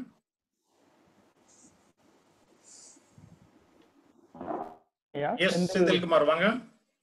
வணக்கம் சார். வணக்கங்க ஐயா சென்னை. செந்தி சென்னையில இருந்தா பேசுறீங்க ஆமா சார் ஆமா சார் சென்னை சென்னை. சிங்கப்பூர் நினைச்சேன் தவறு. ஓ சரி ஓகே. ஓகே சார் ஓகேங்க ஐயா. இப்போ என்னோட கொஸ்டின் வந்து புரிதல் அண்ட் கன்ஃபர்மேஷன் ஸோ இந்த இதுக்கு ஸோ இப்போ புரிதல்ங்கும் போது எனக்கு வந்து கான்செப்ட் புரிஞ்சிருச்சு. என்ன பண்ணணும் என்ன பண்ணக்கூடாது எப்படி இருக்கணும் என்ன எல்லாம் புரிஞ்சிருச்சு. ஏன்னா நான் ஆரம்பிச்சிட்டேன். ஓகேங்களா இப்ப கன்ஃபர்மேஷன் ஆயிடுச்சா? கன்ஃபார்ம் கன்ஃபார்ம் ஃபுல்லா புரிஞ்சிடுச்சா அப்படின்னா என்னால ஹண்ட்ரட் பர்சன்ட் வந்து கன்ஃபர்மேஷன்ல சொல்ல முடியல. பிகாஸ் சம் கன்ஃபியூஷன் இப்ப ஒரு ஒரு இதை எடுத்துக்கிட்டீங்கன்னா ஒரு எக்ஸாம்பிள் எனக்கு வந்து பயங்கர வேலை இப்போ ஒரு ஒரு பத்து நாள் பாஞ்சு நாள் அப்படி இருக்கு. ஸோ அப்படி இருக்கும் போது நான் வந்து ரிலாக்ஸ் பண்ணிக்கணும் அப்படின்னு நினைச்சா எனக்கு பிடித்தமான விஷயத்த பண்ணணும். இன்னும் லாங் டிரைவ் போகணும் ஆர் கிரீனிஷ் இது பச்சை ரொம்ப கிரீனிஷ் இது சீன்ஸ் எல்லாம் பார்க்கணும். ஆர் ஃப்ரெண்ட்ஸ் கூட பேசணும். ஸோ இப்படிங்கிற மாதிரி அப்படிங்கிற மாதிரி ஒரு இது அது நான் பண்ணனா ஆயிருக்கு. ஸோ இப்படி இருக்கும்போது அந்த ரிலாக்ஸேஷன் அப்படிங்கிறது பார்த்தீங்கன்னா எனக்கு பிடிச்சமான ஒரு ஒரு மகிழ்ச்சி. எனக்கு அந்த உணர்வு கொடுக்கக்கூடிய அந்த இதுதான். வந்து வரக்கூடாதா? இதையும் நான் வந்து லைட்டா எடுத்துக்கணுமா? இது பார்க்கணும் அதாவது இப்போ உங்களுக்கு வந்து வருத்தம் ஏற்படுது. அப்ப நீங்க நண்பர்கள்ட்ட பேசி ஒரு சகஜமா ஆயிடுறீங்கிறத சொல்ல வரீங்களா? அது ஒண்ணு. அல்லது எனக்கு வந்து நான் கண்டினியூஸா டெய்லி ஒரு ஃபிஃப்டீன் ஹவர்ஸ் ஒர்க் பண்ணிட்டு இருக்கேன். எனக்கு ஏதாவது ரிலாக்ஸ் தேவைப்படுது நான் அந்த மைண்ட்லயே அந்த ஆக்டிவிட்டிலே இருக்கேன். ஸோ எனக்கு ஃப்ரீயா இல்ல மைண்ட் ஃப்ரீயா இல்ல அப்படிங்கிற மாதிரி இருக்கு. ஸோ அப்படிங்கும் போது நான் வந்து எங்கேயாவது லாங் டிரைவ் போகணும்னா டூர் போகணும் எங்கேயாவது எனக்கு பிடிச்ச போகணும் அப்படின்னு நினைக்கிறேன். ஸோ இப்ப இந்த புரிதல் இருக்கும் போது அதெல்லாம் எனக்கு வரக்கூடாது. அது அது மகிழ்ச்சியை தேடி தான் நான் போற மாதிரி நீங்க வந்து ஒரு டென்ஷன் வரும் பொழுது டென்ஷன்ல இருந்து விடுபடுறதுக்குள்ள முயற்சியை நீங்க பண்றீங்க. ஆமா சார் ஆமா ஆமா. ஆனா அந்த டென்ஷன் நினைக்கிறீங்களா? இல்ல விடுபடணும்னு தான் நினைக்கிறேன். டென்ஷன் அது எப்படி பண்ணுனா விடுபடலாமோ? அதை நீங்க டென்ஷனே வரக்கூடாது வரக்கூடாதது வந்திருக்குன்னு நினைச்சாதான் நீங்க உங்களை குற்றம் சாட்ட ஆரம்பிச்சிடுறீங்க. உங்களை குற்றம் சாட்டாம இருந்தீங்கன்னா ஏன்னா நீங்க வந்து உ- உங்களை நீங்க மனப்பூர்வமா ஏற்றுக்கிட்டீங்கன்னு அர்த்தம். நீங்க மனப்பூர்வமா உங்களை ஏற்றுக்கிட்டீங்கன்னா உங்களுக்கு குற்றம் சாட்ட மாட்டீங்க. வரக்கூடியதான் வந்திருக்கு. இந்த வந்ததை நம்ம எப்படி நம்ம டீல் பண்றதுங்கிறதுல டீலிங்ல இறங்கிடுறீங்க. இப்ப நீங்க உங்களை வரக்கூடாது வந்திருக்குன்னு சொன்னா அப்போ உங்களை ஏதோ வகையில டிசைன் பண்ணி இந்த மாதிரி உணர்ச்சியே வராம பாத்துக்கணும்னு சொல்லி உங்களை உங்களை செட்ரைட் பண்றதுக்குள்ள முயற்சி போயிருவீங்க. இப்போ அந்த மாதிரி முயற்சி நீங்க போகல. அது வந்திருக்கு. வந்த பிறகு நீங்க அதுல இருந்து எப்படி விடுபடுறதுங்கிற இதுல வந்து நீங்க போகலாம். அது தப்பு கிடையாது. அப்போ நம்ம வந்து நம்மள அப்படி வராம பாத்துக்கணும் இன்னைக்கு வந்திருக்கு நாளைக்கு இது வராம பாத்துக்கணுங்கிற மாதிரி உங்க மனசை டிசைன் பண்ணிட்டீங்கன்னு சொன்னா உங்க மனசுக்கு நீங்க சுதந்திரம் கொடுக்கலன்ற மாதிரி ஆயிடும் அப்பந்தான் என்ன சொல்லி சொன்னா மனசுல எப்படி இருந்தாலும் ஓகே தான். அது அப்படிதான் வரும். இந்த சூழ்நிலையில எல்லாருக்கும் வரக்கூடியதான் நமக்கு வந்திருக்குங்கும் போது இப்ப நீங்க வந்து அதை மனப்பூர்வமா ஏற்றுக்கிடுறீங்க அப்போ வந்து நீங்க அங்க இல்லை நீங்க புரிஞ்சுக்கிறத கரெக்டா புரிஞ்சுக்கிட்டீங்கிற மாதிரிதான். அதனால அது அதுதான் உங்களுக்கு வந்து இதுல இதுல நீங்க உங்களை ஏதோ வேற இதுக்கு மேலேயும் நீங்க உங்களுக்கு கன்ஃபார்ம் பண்ணணும்னு அவசியம் இல்லை. நீங்க உங்களுக்கு மனசை வந்து முழு மனசோட ஏற்றுக்கிடணும் அவ்வளவுதான். அதனுடைய செயல் அது அப்படித்தான் இருக்குங்கிறத வந்து அது அதனுடைய இயற்கைப்படி அது செயல்படுதுங்கிறத இது பண்ணிட்டீங்கன்னு சொன்னா அப்புறம் நீங்க டீல் பண்றது வேற. டீல் பண்றது எப்படி வேணாலும் டீல் பண்ணி ஓகேங்க. இப்போ இப்போ இங்க வந்து எனக்கு ஏன் அந்த கன்ஃபியூஷன் வந்ததுன்னா இப்போ ரிலாக்ஸா இருக்கணும் அப்படின்னா நான் வந்து இந்த மாதிரியான காரியங்கள் பண்ணணும். அப்ப இன்டைரக்டா பாத்தீங்கன்னா நான் வந்து ஒரு மகிழ்ச்சியான ஒரு அனுபவத்துக்கு தேடி போற மாதிரி அஹ், இது இருக்கு அந்த எதிர்பார்ப்பு இருக்கக்கூடாதோ அப்படிங்கிற மாதிரி நான் இல்ல அந்த மாதிரி. ஓகேங்கய்யா நன்றிங்கய்யா தேங்க்யூ செந்தில்குமார். உங்களை மீட் பண்றேன். நெக்ஸ்ட் இளவரசர் ரத்தினம். அவங்க வெயிட் பண்றாங்க. உங்களை அன்மியூட் பண்றேன். இளவரசர் ரத்தினம் நீங்க எங்க இருந்து பேசுறீங்க? அப்படிங்கன்னு சொல்லுங்க. நான் வந்து சவுதியில இருந்து பேசுறேங்க ஐயா. ஐயா. பாபுலால் ஐயா ஜீவமணி சரவணன் வணக்கம் வணக்கம். வணக்கம். ஐயாட்ட பேசுனீங்கல்ல போன்ல ஆமா ஆமாங்க ஐயா. பேசணுங்க ஐயா. பேசி தெளிவு வந்து கிடைச்சிருச்சுங்க ஐயா. ரொம்ப மகிழ்ச்சி. இப்போ எனக்கு ஒரு டவுட்டுங்க ஐயா. ஒரு கொஸ்டின் சரி. இப்போ உங்களோட இப்போ கடந்த ஒரு வருஷமா உங்களோட புக்கு படிச்சதுல வந்து இப்போ அகத்துல வந்து நாம இந்த ஞான முகாம் அட்டன் பண்ணியிருக்கிறோம் புக்குங்கெல்லாம் படிச்சிருக்கிறோம் வீடியோ எல்லாம் பார்த்துருக்கோம் அகத்துல வந்து நம்ம எதுவுமே பண்ண அஹ் வந்து நம்ம உணர்வுகள் வந்து வரும் போகும் மாறி நாம வந்து இந்த உணர்வு தான் வேணும்னு சூஸ் பண்ண தேவையில்ல. ஏன்னா அது சூஸ் பண்ணா அது பாடியில உணர்வு வந்து பாடி கூட ஏத்துக்காது அப்படின்றத வந்து புரிஞ்சு அது வந்து பிராக்டிக்கலா அப்ளை பண்ணா அது வந்து கன்ஃபர்மேஷன் ஆயிடுச்சுங்கய்யா ஏன்னா இப்ப எந்த உணர்வும் நமக்கே பிராக்டிக்கலா அதை செயல்படுத்தும் போது தெரியுதுங்கய்யா உணர்வு வருது போகுது வருது போகுது. அகத்துக்குமே வேலை இல்லை. அப்படிங்கறதுனால மனசு வந்து சுதந்திரம் ஆயிடுச்சு. இப்போ ஒரு இதுல ஒரு டவுட் என்னன்னா இப்போ நான் எங்கேயாச்சும் போகிறேன் இப்போ வந்து எனக்கு உடல் வந்து ஏதாவது கால் இடிச்சுக்கிறேன் பிளட் வருது இப்போ உடல்ல வந்து வலியா வருது. இப்போ அந்த உடல் வலியா வரும்போது என்ன ஆகுதுன்னா இப்போ அது புறத்துக்கு வந்து ஏதாவது ஒரு வேணுன்றதுனால அகத்தை வந்து எனக்கு ஒரு எண்ணம் வருது. நான் இது ஹாஸ்பிட்டலுக்கு போகணும் ஹாஸ்பிட்டலுக்கு போய் சரி பண்ணணும்ட்டு இப்போ அது வந்து நான் புறத்துக்கு வந்து செயலுக்கு எடுத்துக்கிறேன். எடுத்துக்கிட்டதுக்கு அப்புறம் ஹாஸ்பிட்டலுக்கு எனக்கு வந்து அந்த உடல் வலியோட தீவிரத்தினால வந்து அந்த அகத்துல வந்து இது போகணுன்ற எண்ணம் வந்து திரும்ப திரும்ப எதிர்வினையா வந்துட்டே இருக்குது. அதை வந்து நிறுத்த முடியறது இல்லை ஏன்னா என் ஆள் மனசுல வந்து இந்த உடல் தான் நான் அப்படிங்கிற மாதிரி ஒரு தீவிரம் இருக்கிறதுனால அதை வந்து எதிர்வினை ஆற்றுறதுல வந்து என்னால வெளியில வர முடியறது இல்ல இதுக்கு உங்களோட ஆலோசனை என்னங்கய்யா இல்ல அதுவும் இயற்கையா எடுத்துக்க வேண்டியது இப்ப எல்லா உணர்வுகளும் வர்ற மாதிரி அது போகணுங்கிற உணர்வையும் மனசு கொண்டு வருது. ஏன்னா உண்மையிலேயே நமக்கு வந்து இங்க டிமாண்ட் இருக்குல்ல. தேவை இருக்கு வலி இருக்கும்போது அதுல இருந்து விடுபடணுங்கிற எண்ணம் இருந்துட்டு தான் இருக்கும். அந்த மனசு சுதந்திரமா அந்த மாதிரி ஒரு டிமாண்டை வைக்கிறதுக்கு நீங்க சுதந்திரம் கொடுத்துருங்க. அது அப்படி ஒரு டிமாண்ட் வைக்க கூடாதுன்னுட்டு அதை ரெஸ்ட்ரிக்ட் பண்ண வேண்டாம். அந்த மனசு அந்த அந்த டிமாண்டை கொண்டு வந்துட்டு போட்டுன்னு அந்த டிமாண்ட் கொண்டு வந்ததுக்கு அப்புறமும் திரும்ப அந்த எண்ணம் வந்து ஹாஸ்பிட்டல் போய் சேர்ந்து எல்லாம் ஆனதுக்கு அப்புறமும் அந்த வழி நான் வந்து இந்த இந்த இது வந்து போகணும் இது வந்து சரியாகணும் சரியாகணும்ன்ற அந்த எண்ணத்தை வந்து அது ஏன் வந்து திரும்ப திரும்ப வந்துட்டே இருக்குதுங்க அது? இல்ல எப்படினாலுமே ஒரு பிசிக்கலான ஒரு செயலை நம்ம அது மனது எப்படி செயல்படணும்னுட்டு டிமாண்ட் பண்ண மனசு வந்து இப்ப நீங்க இந்த மாதிரி செயல்படுறதுக்கு பதிலா மனசு வேற மாதிரி செயல்படணும். மனசு அமைதியா தான் செயல்படணும்னு நினைச்சா தான் மனசை டிசைன் பண்றதுங்கிற மாதிரி ஆகும். அது வந்து ஒரு இதை டிமாண்ட் பண்ணதுன்னு சொன்னா மனதினுடைய டிமாண்ட் அப்படி இருந்துட்டு போட்டோம் நல்லது மனசை தான் நீங்க டிமாண்ட் பண்ண வேண்டாம் மனசு வந்து அமைதியா செயல்படணும் இந்த மாதிரி கோரிக்கைகளே வைக்க கூடாதுன்னு நினைச்சா தான் மனசு சரி பண்ற டிமாண்ட் ஆகுது. ஆனா மனசு சரி சரி பண்ற டிமாண்ட் வேண்டாம். இது ஒரு சூழ்நிலையை அல்லது ஒரு செயலை நிர்வாகம் பண்றது இப்போ உடலை நிர்வாகம் பண்றதும் ஒரு செயலை நிர்வாகம் பண்ற மாதிரி தானே? ஒரு ஒரு காயத்தை நிர்வாகம் பண்றதும் செயலை நிர்வாகம் பண்ற மாதிரி தான். அதனால அதுக்காக மனசு கோரிக்கை வைக்கிறதுல தப்பு இல்லை. மனசை இப்படி செயல்படக்கூடாது மனசு வந்து அமைதியான உணர்வு தான் வெளிப்படுத்தணும். இது நல்ல உணர்வை தான் வெளிப்படுத்தணும் அப்படிங்கிற மாதிரி டென்ஷன் எல்லாம் வெளிப்படுத்தக்கூடாதுன்னு சொல்லி மனோ இயக்கத்துல தான் நாம அதை சேர்க்கக்கூடாது. ரெண்டாவது என்னன்னா இப்ப இதுலயுமே என்னன்னு சொல்லி சொன்னா மனசு எப்படி செயல்பட்டாலும் ஓகே தான்ங்கிற மாதிரி ஒரு முடிவுக்கு வரணும் அவ்வளவுதான். அது மனசு எப்படி இப்ப இப்ப நீங்க வந்து இப்ப இதுல கூட நம்ம ஒரு தப்பு கண்டுபிடிக்கிறோம். இப்படி செயல்படக்கூடாதுன்னு சொல்லி.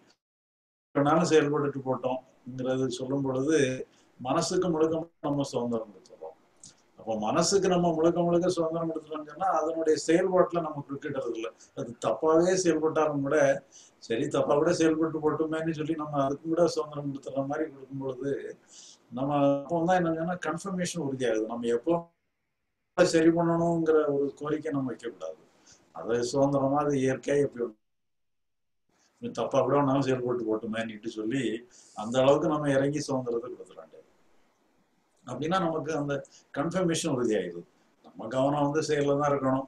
மனசு வந்து தப்பா சரியா செயல் சரி தப்பா செயல்பட்டாலும் சரி எப்படி வேணாலும் செயல்பட்டு போட்டோம்னு சொல்லி நம்ம இது பண்ணியாச்சுன்னா அந்த பக்கம் நமக்கு வேலை இல்லைங்கிற முடிச்சுட்டோம்னா அதுக்கு வேலை இல்லைன்னு முடிச்சுக்கிறத தான் நம்ம கன்ஃபார்ம் பண்றது. சரிங்க ரொம்ப நன்றிங்க ஐயா. தேங்க்யூ uh, இளவரசு உங்களை மியூட் பண்றேன். Next is uh, Arunan from Chennai unmute பண்றேன்.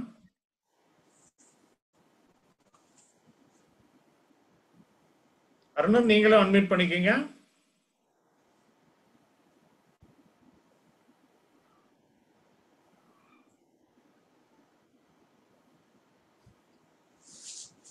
அருணன் உங்க ஸ்கிரீன்ல அன்மியூட்னு வரும். அதை நீங்க அன்மியூட் பண்ணிக்கங்க. இல்ல மைக்கை டச் பண்ணா அன்மியூட் ஆயிடும்.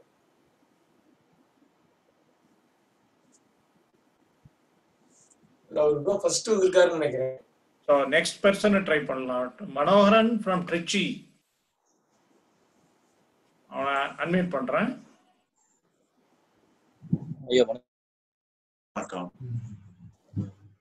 ஐயா எனக்கு இப்ப இந்த கன்ஃபர்மேஷன் பத்தி நம்ம பேசிட்டு இருக்கோம்.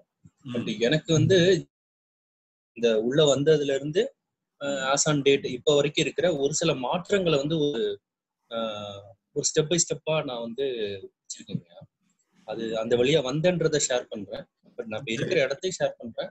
பட் அது கரெக்டான்றது மட்டும் நாங்க கொஞ்சம் கொஞ்சம் தெளிவுபடுத்தணும் ஃபர்ஸ்ட் வந்து ரொம்ப ரொம்ப முக்கியமானது என்னன்னா இந்த புரிதலை பத்தியான ஒரு ஞானங்கிறது ஒரு புக்கை படிச்சு நம்மளோட சும்மா இரு இல்ல ஞான விடுதலை புக்கை படிச்சாலே நம்மளுக்கு தெளிவா தெரிஞ்சிருக்கும் ஆனா ஒரு ஒரு இரண்டு மாசம் பாத்தீங்க அப்படின்னா மற்ற கருத்துக்களோட போய் கம்பேர் பண்ணிட்டே இருக்கிறது தான் ஒரு பெரிய தடையா இருந்துச்சு.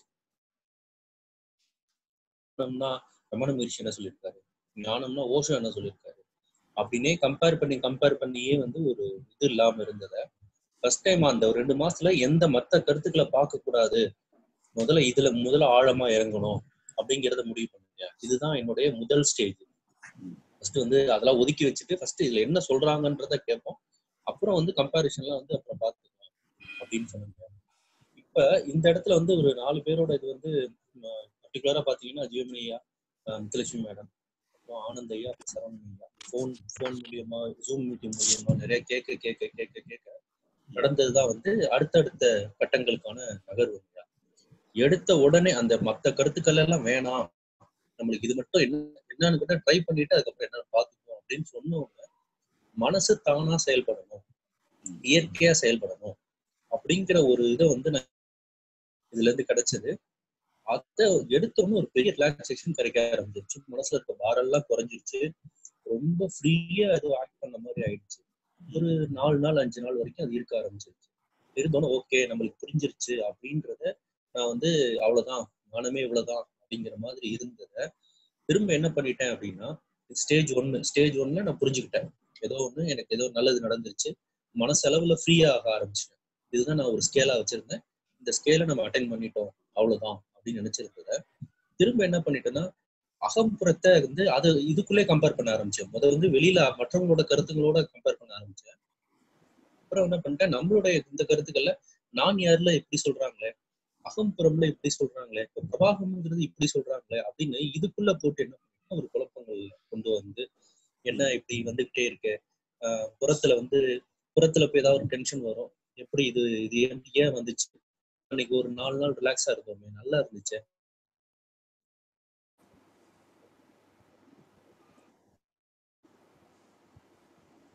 சவுண்ட் போயிட்டு.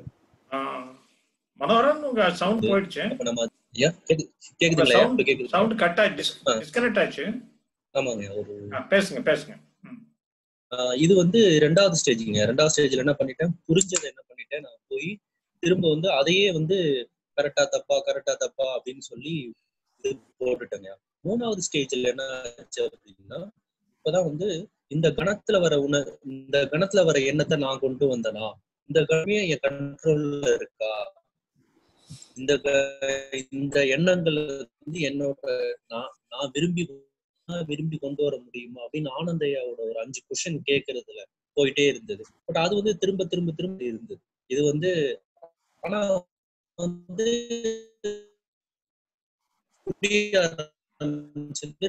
நம்ம கண்ட்ரோல் நம்ம மனசு உங்க வாய்ஸ் ஃபுல்லா டிஸ்கனெக்ட் ஆகுது மனோரன் மனசு அதான் இயங்குது அப்படிங்கறத ஓரளவு தெளிவாக ஆரம்பிச்சிடலாம் கடைசியா இந்த ஒரு நாளைக்கு முன்னாடி காரணம் இருந்தது இதுல கேட்கலைங்க.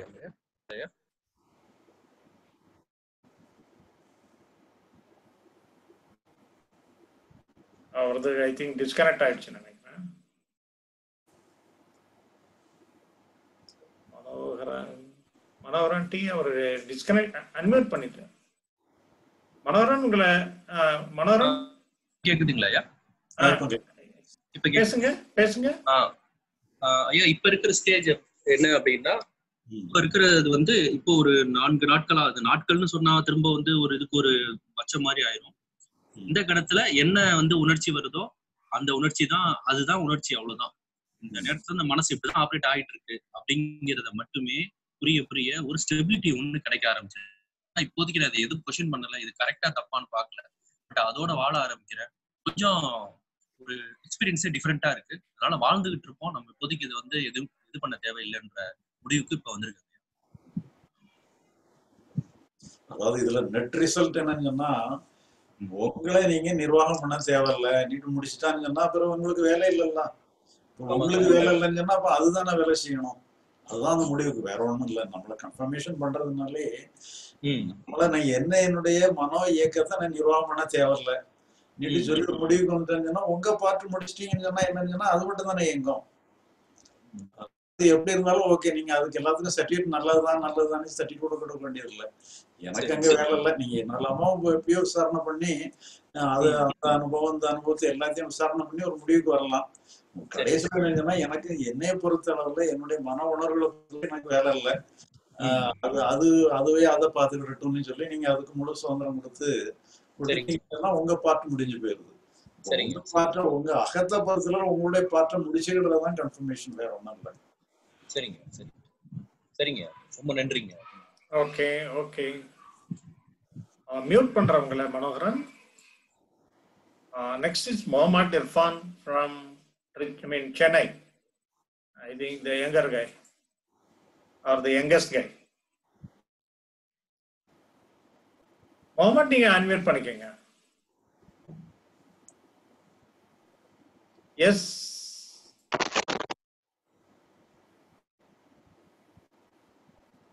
பேசுங்க.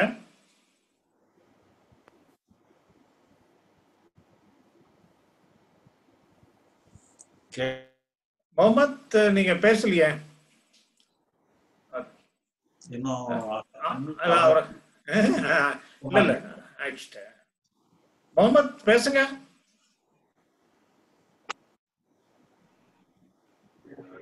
சரி அவருக்கு ஏதோ ப்ராப்ளம் போல இருக்கு கொஞ்சம் மியூட் பண்ணி வைக்கிறேன்.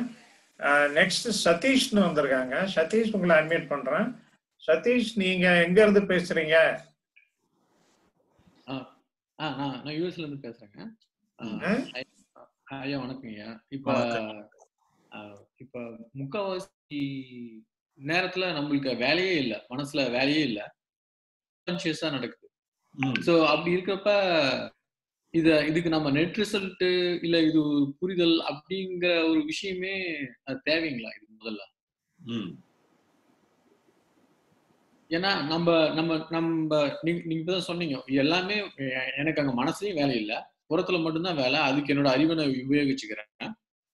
மனசுல வேலை இல்லாத சமயத்துல ஆஹ் எனக்கு ஒரு மாற்றங்கள் ஏற்படுமோ?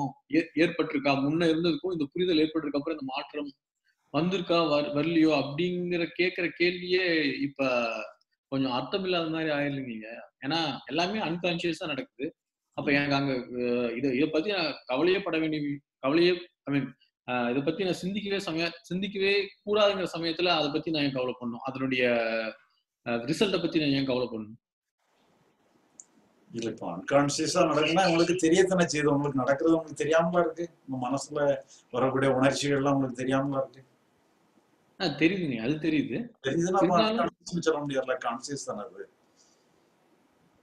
ஆனா சில சமயம் அந்த உணர்ச்சிகளை அந்த உணர்ச்சிகள்ல என்ன அறியாம நடக்கிற அந்த உணர்ச்சிகளுக்கு கொஞ்ச நேரம் ஒரு அஞ்சு நிமிஷமோ ஒரு பத்து நிமிஷமா கழிச்சுதான் ஓ நம்ம இந்த மாதிரி ஒரு உணர்ச்சி வந்திருக்குதுன்னு அப்பதான் அப்பதான் அந்த புரிதலே ஏற்படுது. நம்ம இந்த இந்த சூழல்ல இந்த இந்த என்ன சூழல்ல சிக்கியிருக்கோங்கிறத ஒரு பத்து நிமிஷம் கழிச்சுதான் நம்மளுக்கே தெரிய வருது. அப்ப அந்த. பத்து நிமிஷம் அன்கான்சியஸ் தானங்க சரி மொத்தத்துல வந்து அது உங்களுக்கு அதான் அதுக்கப்புறம் தான் என்னன்னு சொன்னா கான்சியஸா நமக்கு வேண்டியது வேண்டாதுங்கிற கான்சியஸ் வருது. முதல்ல வந்து என்னன்னு சொன்னா அது வரும் பொழுது அது வேண்டியது வேண்டாததுன்னுட்டு இல்லாதபடியே நீங்க அதோட இணைஞ்சுக்கிடுறீங்க மற்றபடி உங்களுக்கு தெரியாம அது வரல. எல்லா உணர்வுகளும் மனோரீதியான உணர்வுகள் வரும் பொழுது உங்களுக்கு தெரியத்தான் செய்யுது தெரியாமலாம் இல்லை. பிறகுதான் என்னன்னு சொல்லி சொன்னா நமக்கு வேண்டியது வந்திருக்கு வேண்டாதது வந்திருக்குன்னா கொஞ்சம் டைம் எடுத்து கூட வரலாம் அது. இப்போ அப்படி வந்ததுக்கு பிறகு நீங்க என்ன பண்றீங்கிறதான் கேள்வி. சப்போஸ் வந்து நீங்க கா நீங்க வந்து ஒரு செல்ஃப் கான்சியஸ்னஸ் வந்துடுறீங்க. ஒரு உணர்வு வருது. அது பிடித்தமான உணவா இருக்கலாம் பிடித்தம் இல்லாத உணர்வா இருக்கலாம்.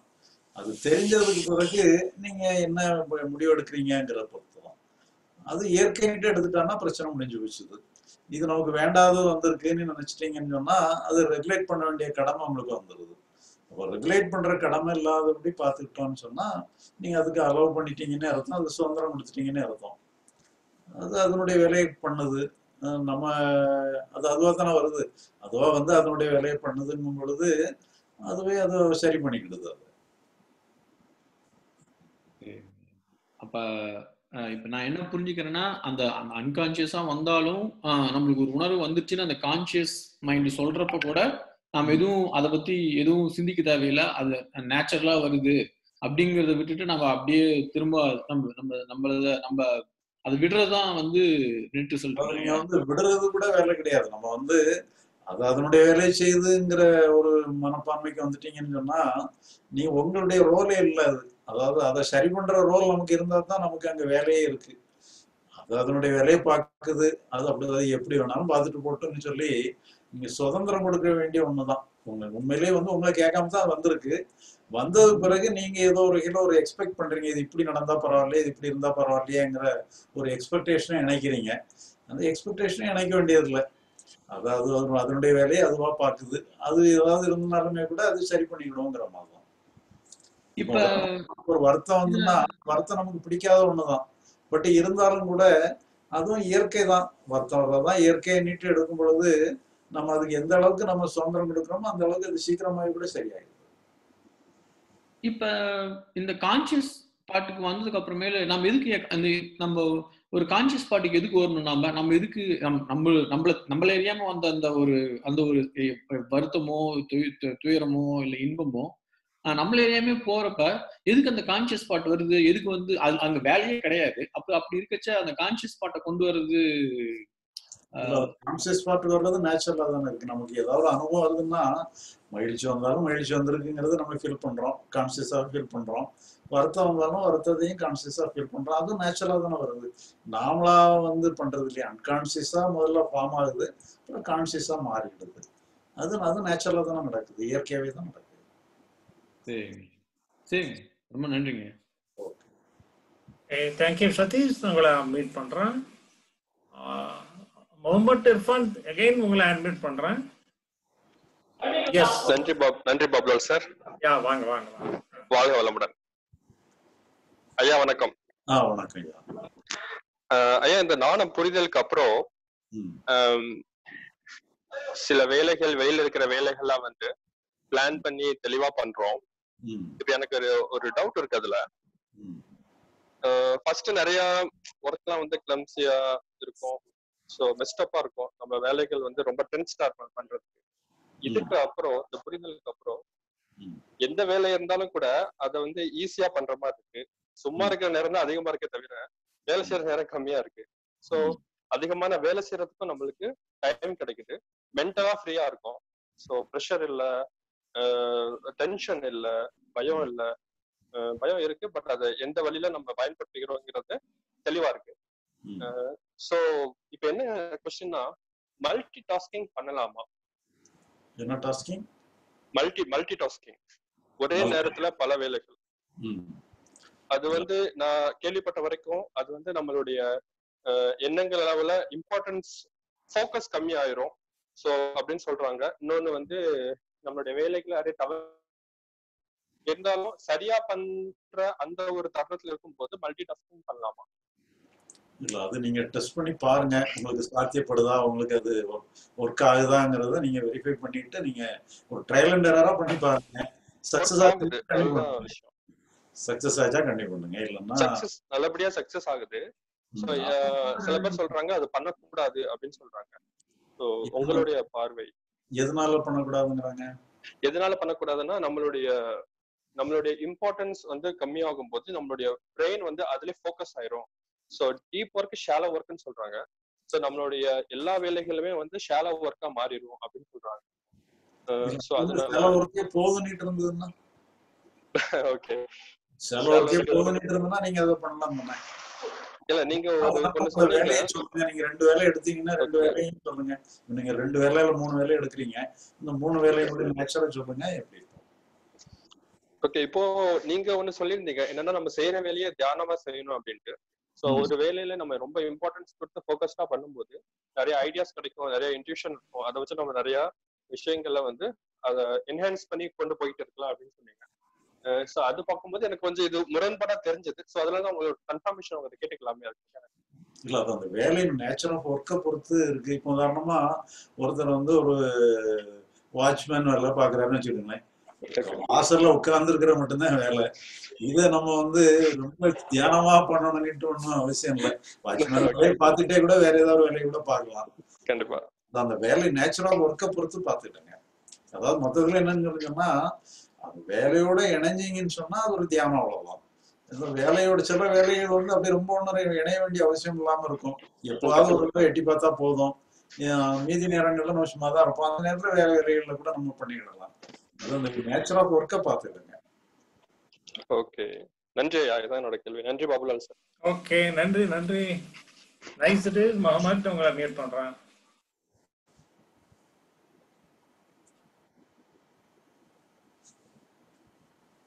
ரொம்ப ஷார்ட் டைம் தான் இருக்கு ஐயாட்ட கேட்கலாம் பேசலாம் டிஸ்கஸ் பண்ணலாம்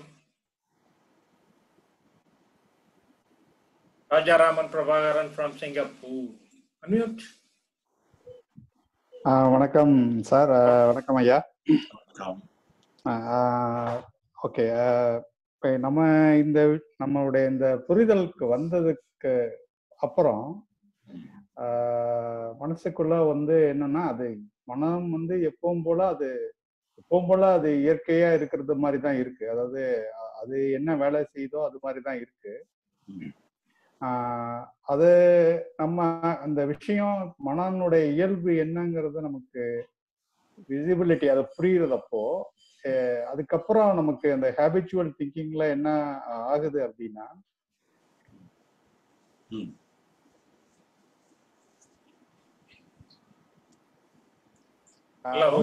ஒரு எதிர்பார்ப்பு வருது. இதுக்கப்புறம் மனம் எப்படி இருக்கு? ஆனா மனம் இருக்கிற மாதிரி தான் இருக்கு. ஆனா நம்மளுடைய ஒரு அந்த ஹேபிச்சுவல் திங்கிங் எதா இருந்தாலும் ஒரு எதிர்பார்க்கிற தன்மை வந்து அப்படி ஒரு விஷயம் எனக்கு நடந்தது. அது அது ஷேர் பண்றது தான் சொன்னேன். அதுக்கப்புறம் மறுபடியும் ஒரு பல விஷயங்கள் நம்ம தேடி தேடி இது பண்ணி இது பண்ணி அது ஒரு ஒரு ப ஒரு இது மாதிரி போகுது. ஒரு ஒரு டவுட்னஸ் வருது அப்புறம் இதாயிருது அப்போ நம்ம என்ன யோசிச்சு ஒரு இது பண்றோம்னா அது இதுதான் இங்க இதுதான் அதனுடைய இயல்பு அப்படின்னு தெரிஞ்சுக்கிட்டோம். அதுக்கப்புறம் அதை பத்தி யோசிச்சு என்ன ஆக போகுது அப்படிங்கிற ஒரு முடிவுக்கு நம்ம வந்துடுறோம் அந்த அந்த நேரத்துல. ஸோ இந்த இந்த இது எனக்கு இந்த இந்த அனுபவம் வந்தது. அதாவது ஒரு விஷயம் நம்ம புரிஞ்சுக்கிட்டோம். இதனுடைய இது தெரிஞ்சதுக்கு அப்புறம் வந்து நமக்கு என்ன ஆகுது அப்படின்னு கேட்டிங்கன்னா ஏதோ ஒன்று எதிர்பார்க்குறோம். இந்த விஷயம் நம்ம புரிஞ்சுக்கிட்டோம். புரிஞ்சுக்கிட்டதுக்கு அப்புறம் வந்து மனம் வந்து அதனுடைய செயல்பாடு வந்து ஆனதுக்கு அப்புறம் நமக்கு என்ன அனுபவம்? அந்த அனுபவத்து மேல அந்த அனுபவத்து மேல உள்ள ஒரு ஒரு எதிர்பார்ப்பு வருது. ஆனா அங்க அனுபவம் பண்றதுக்கு ஒண்ணுமே இல்லை. ஆக்சுவலி அது அது வேலையை செஞ்சுக்கிட்டு இருக்கு. நமக்கு தேவைன்னா நம்ம எடுத்து செய்யறோம் இல்லைன்னா அது இல்லை அது அப்புறம் இல்லை. ஆனா இன்னொரு விஷயம் என்னன்னு கேட்டிங்கன்னா எனக்கு நேர்ந்த இது என்னன்னா கொஞ்சம் ஞாபக மறதி நிறைய வந்தது. நினைவுகள் ஒரு இது இது நிறைய நம்ம சரவண ஐயா கிட்ட கூட கேட்டேன். அப்புறம் முத்து முத்துலட்சுமி அவங்க கிட்டயும் கேட்டேன். அது அப்புறம் என்ன ஆகுது அப்படின்னு கேட்டிங்கன்னா ஒரு ஒரு ஒரே ஒரு பிரச்சனை நம்ம வேலையில ஒரு பிரச்சனையில நம்ம அந்த வேலையை நம்ம செஞ்சிருப்போம். அதோடைய எஸ்ஓபி என்னன்னு தெரியும். அதோடைய சோர்சஸ் என்னங்கிறது அப்படின்னு நம்ம டிரைவ் பண்ணி வச்சிருப்போம். அதை வச்சு இருக்கும். பட் ஒரு ரெண்டு மாசம் மூணு மாசத்துக்கு அப்புறம் அது அதுக்கடையில பல வேலைகளை நம்ம செஞ்சிருப்போம். பல வேலைகளை செஞ்சிருப்போம். அந்த மூணு மாசத்துக்கு முன்னாடி செஞ்ச விஷயம் நமக்கு அது வேலைன்னா ஏதாவது தேவைன்னா தானே நம்ம எடுத்துக்குவோம். இல்லைன்னா அது ஆக்டிவே ஆகாது. அந்த இன்ஃபர்மேஷன் வந்து ஆக்டிவே ஆகாம இருக்கும். அப்போ புதுசா அதே ப்ராப்ளம் வரையில திரும்ப அதை இது பண்ணும்போது அப்படியே பிளாக் அவுட் ஆகும். அது அந்த விஷயம் இது பண்ணும்போது இது ரெண்டு மூணு தடவை எனக்கு இந்த இன்சிடென்ட் வந்தது. அதுக்கப்புறம் நான் எப்படி புரிஞ்சுக்கிட்டேன் அப்படின்னா ஓகே இதை இதை நினைச்சு நம்ம கவலைப்படவோ கவலை வந்தாலும் ஒரு பயம் வந்தாலும் பதட்டம் வந்தாலும் இட்ஸ் ஓகே அது இதாகட்டும். நம்ம வெளியில என்ன இது என்னதான்னு பார்ப்போம். இது புதுசா பார்க்குற மாதிரியே பார்ப்போம். அப்படின்னு சொல்லிட்டு நம்ம அந்த வேலையை பார்க்குறப்போ அதுக்கப்புறம் அது நார்மலா வந்துருது. அது பழைய விஷயங்கள்ல வந்த இது வந்துருது. இதை தவிர்க்கிறதுக்காக நம்ம என்ன பண்றது அப்படின்னா அந்த மாதிரி நம்ம செய்யற வேலைகளை எங்கேயாவது டாக்குமெண்ட் பண்ணிடுவேன். ஏதாவது ஒரு இடத்துல எழுதி வச்சிருவது அப்படிங்கிறப்போ ஓகே இருக்கு எதுனாலும் நமக்கு வ- ஞாபகம் வந்தா சரி ஞாபகம் வரலைன்னா நம்ம போய் பார்த்துக்கலாம்.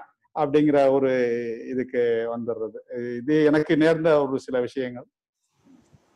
இப்ப ஞாபகம் வர்றது மறக்கிறதுங்கிறதெல்லாம் புற வேலைகள் சம்பந்தமானது தானே? ஆமா ஆமா ஆமா ஆமா. வேலைகள் சம்பந்தமா நீங்க ஞாபகம் வச்சுக்கிறது தானே நல்லது. அதை நீங்க ஞாபகம் வைக்க ஏதாவது மறதி வந்ததுன்னா நீங்க இந்த மாதிரி ரிமைண்டர் மாதிரி இதை ஒன்றும் பண்ணினா தான் கரெக்ட் அதுல ஒண்ணும் அதுல ஒன்றும் தப்பு இல்லை. நீங்க வேலையை வந்து பெர்ஃபெக்டா பண்ணணும். இப்போ உதாரணமா நீங்க இப்போ ஒரு ஒரு கம்ப்யூட்டர்ல ஏதாவது ஒரு வேலை செய்றீங்க அந்த வேலையில இன்னும் கொஞ்சம் நீங்க அப்கிரேட் ஆயிட்டீங்கன்னு சொன்னா அந்த வேலையை அந்த கம்ப்யூட்டர் ஒர்க்கை இன்னும் கொஞ்சம் பெர்ஃபெக்டா பண்ணலாம் அல்லது இன்னும் கொஞ்சம் சுலபமா பண்ணலாம். அப்படி வந்து உங்களுடைய வேலையில வந்து உங்களுடைய தகுதியை வந்து கொஞ்சம் மேம்படுத்துறதுக்கு சில உத்திகளை நீங்க பயன்படுத்திக்கிடலாம். இப்போ அதே மாதிரி வந்து உங்களை வந்து நீங்க சைக்கலாஜிக்கலா உங்களை வந்து ஞானத்துக்காக உங்களை சைக்கலாஜிக்கலா ஏதாவது அப்கிரேட் பண்ணணுமா? அங்க ஒண்ணுமே இல்லையே. நம்ம என்னத்த அப்கிரேட் பண்றது? உங்களை அப்கிரேட் பண்ணலைன்னா என்ன அர்த்தம் சொன்னா நீங்க இப்ப இயங்குறது கரெக்ட் இப்ப இருக்கிறது தான் கரெக்ட் இப்ப எப்படி இயங்குதோ அதுதான் கரெக்ட்னு சொல்லி எடுத்துக்கிறது தானே கரெக்ட் ஆமா அதை எடுத்துக்கிட்டோம். அப்புறம் நீங்க சொன்னது மாதிரி அப்புறம் நீங்க சொன்னது மாதிரி அப்புறம் நான் கொஞ்சம் அதையே கொஞ்சம் செல்ஃப் அனாலிசிஸ் பண்ணும்போது நான் என்ன புரிஞ்சுக்கிட்டேன்னா ஓகே அப்ப நம்ம சொல்ற அந்த வேலையை கொஞ்சம் நம்ம அதை முக்கியத்துவம் பண்ணிக்கிட்டு கொஞ்சம் ஒரு சீக்வன்ஷனா அதை பத்தி கொஞ்சம் இன்டர்னலா திங்க் பண்ணோம். திங்க் பண்ணும் போ- இது பண்ணும்போது ஒரு இன்னும் கொஞ்சம் அந்த வேலையை பத்தி இன்னும் கொஞ்சம் புரிதல்கள் வருது. அது என்ன நல்லா செய்யலாம்? புறத்துக்கு தானே? புறத்துக்கு தான் புறத்துக்கு தான். புறத்துக்கு உங்களை அப்கிரேட் பண்ணிடுங்கன்னு சொல்றோம். புறத்துக்கு குவாலிஃபிகேஷன் நீங்க அப்டேட் பண்ணிடுங்க. உங்களுடைய எபிலிட்டியை கூட்டிடுங்கன்னு சொல்றோம். உங்களை நீங்க உங்களுடைய உங்களுடைய கெப்பாசிட்டி சைக்கலாஜிக்கல் ஆஸ்பெக்டை பொறுத்தளவுல உங்களை நீங்க அப்கிரேடே பண்ணாதுங்க. உங்களை நீங்க மனப்பூர்வமா நீங்கள் வந்து கடைசி நிலையில் இருந்தால் எப்படியோ அப்படி இருக்கிற மாதிரியே வச்சுக்கிடுங்க அந்த கடைசி நிலைங்கிறது வந்து ஒரு ப்ளசண்டான நிலைன்னுட்டு எடுக்கணும்னு அவசியம் இல்லை. ஏன்னா இப்போ நமக்கு வந்து எல்லா விதமான ப்ளஸ் மைனஸ் எல்லா விதமான எமோஷன்ஸும் வரத்தான் செய்யுது. அப்போ அந்த ப்ளஸ் மைனஸோட உங்களை நீங்கள் டோட்டலாக உங்களை அக்செப்ட் பண்ணிக்கிட்டா தான் உங்களை நீங்களே மனப்பூர்வமாக ஏற்றுக்கிட்டீங்கன்னு அர்த்தம். சைக்கலாஜிக்கலாக உங்களை நீங்களே மனப்பூர்வமாக ஏற்றுக்கணுங்கிற ஒரு முடிவுக்கு வந்துடுங்க முடிவுக்கு வந்துட்டீங்கன்னு சொன்னால் அப்புறம் அதுவாக தானே இயங்கும் ஆமா ஆமா சரி சரி சரி. அப்புறம் இன்னொரு கேள்விங்க ஐயா. இப்ப நீங்க முன்னாடி இந்த தியான பயிற்சி முறைகளை பத்தி ஒரு இது முன்னாடி சொல்லியிருந்தீங்க. மூணு விதமான தியானங்கள் இருக்கு அப்படின்னு. சர்வரூப தியானம் அப்புறம் நிர்விகற்ப தியானம் அப்புறம் விகற்ப தியானம் அப்படின்னு சொல்லியிருந்தீங்க. பொதுவா நீங்க ரெக்கமெண்ட் பண்றது அதாவது ஒரு ஒரு அனுபவ ஒரு ஒரு காம்னஸ்க்காக நீங்க ரெக்கமெண்ட் பண்றது நிர் விகற்ப தியானம் தானே?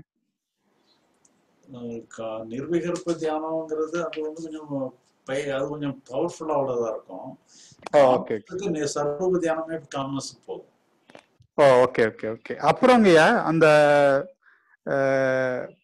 புத்தருடைய ஒரு இதுல வந்து இந்த விபாசனா அப்படின்னு சொல்லக்கூடிய இந்த மைண்ட்ஃபுல்னஸ் அப்படின்னு சொல்றது இதுல வருமா? இதுல வராதா?